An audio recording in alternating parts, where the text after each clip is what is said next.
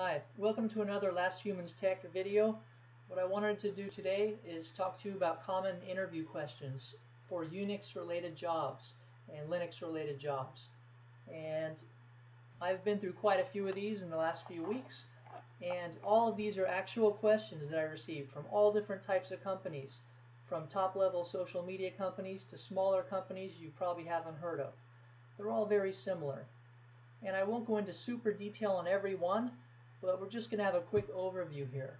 So you definitely want to know what all the file systems in a Unix system are, and what each of these directories contain also is very important for you to know.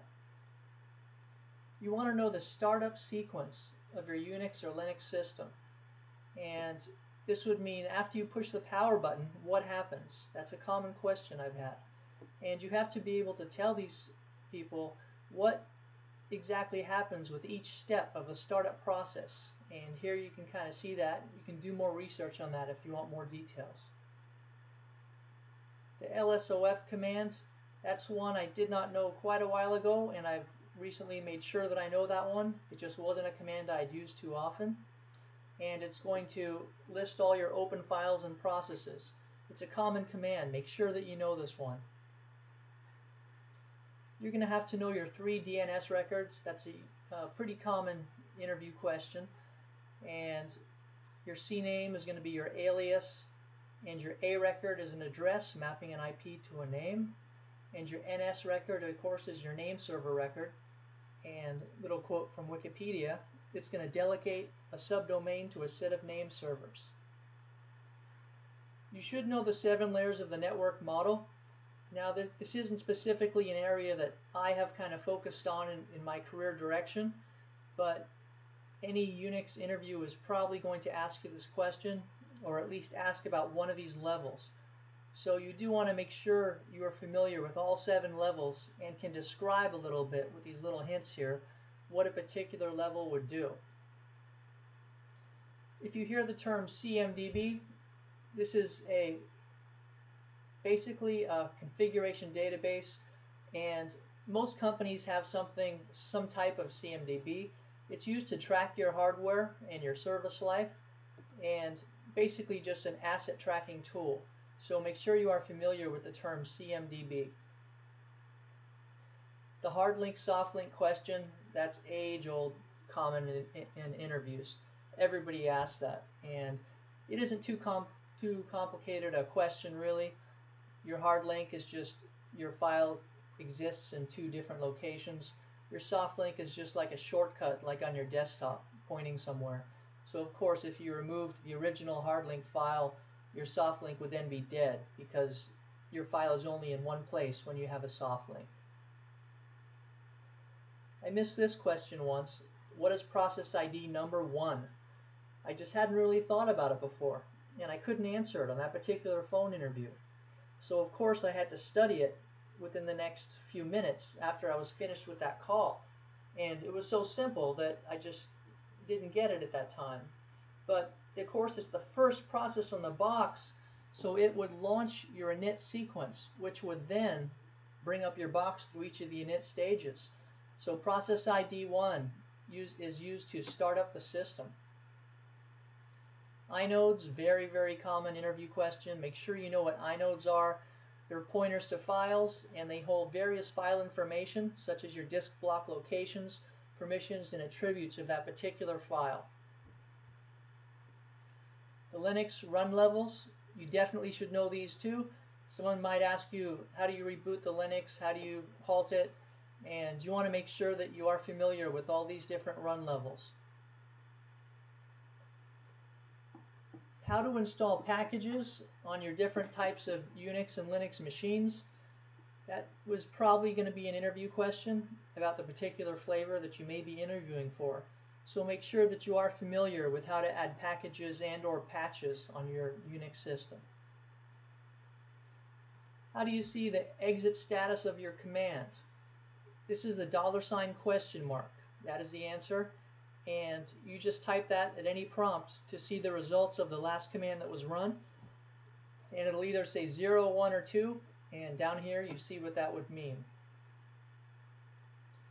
how to create a new file system. Let's say you um, create a new partition on a disk on Linux or Solaris.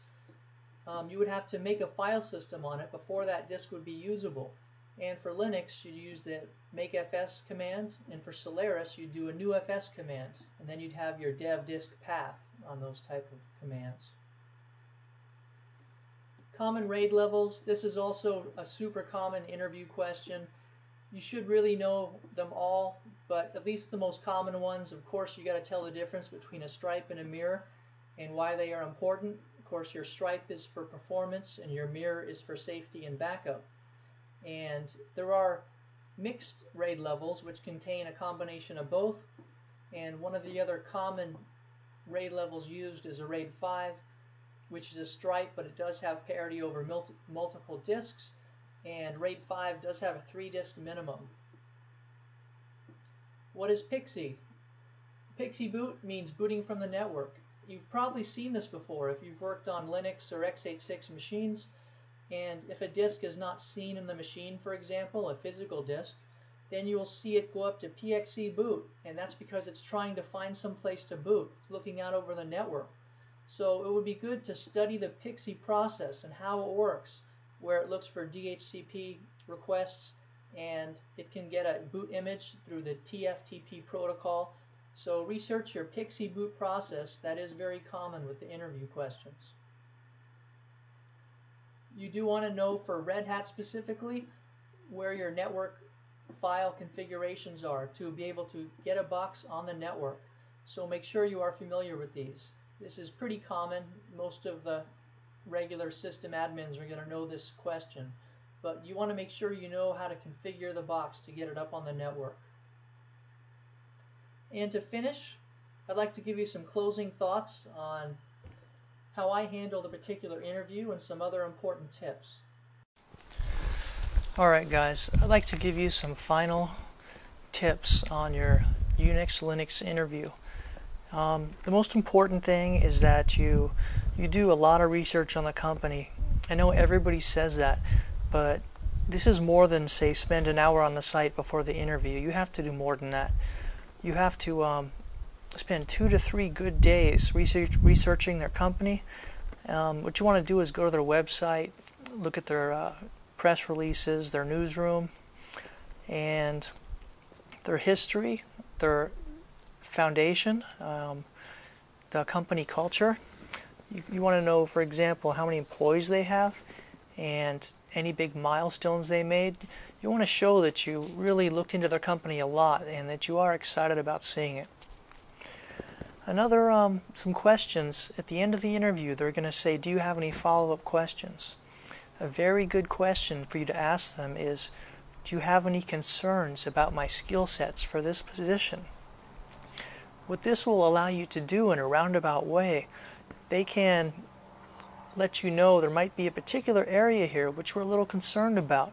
And this gives you the immediate opportunity to talk to them about that and to convince them how this concern would not be a problem for you to be able to function in the job and that you do have enough skills to be able to perform the job to their expectations. Another good question, sort of similar, is what do you think will be my greatest challenge in this job? This is another way to get out of them what they feel could be difficult for you, and in turn, it's a way for you to then set their minds at ease and discuss with them how you would welcome this challenge, but you were sure that you could overcome this challenge and you could persevere. And these are two opportunities on your follow up questions to give you a little more positivity in leaving the interview and leave a little better taste in their mouth. If they ever ask you, Do you have experience in this particular app, this particular software? you know, nobody has experience in every app uh, that every company uses. So you never want to say no and end it there. You say no, but. And you need to talk about similar applications and similar software that you do have experience in, which the knowledge would be easily transferable into theirs. And it shows that you have a foundation in that general area and you could easily pick up a new application and learn it because of your past experiences. One of the hardest interview questions I get um, what is the biggest mistake you've ever made? Sometimes they'll say biggest mistake at work that you've ever made. I can't answer this one for you guys. This is really hard. You don't want to talk about a mistake that cost your company, say, a million bucks. Um, what you want to talk about is a smaller, small to medium-sized mistake, and in which you were able to quickly um, correct and repair that mistake. And in addition, you made sure that that mistake did not happen again. You might have changed or improved a process. So you don't want to give out your biggest mistake ever in the history of your life. Um, that's not the point of this. Um, you don't want to present weakness in the interview. So, a lot of places will ask, Where do you see yourself in five years? Um, I like to say, I like to be continually moving up in your company. I would like to be taking on more responsibilities as the years go on and grow into a long term career. That's what I like to talk about here.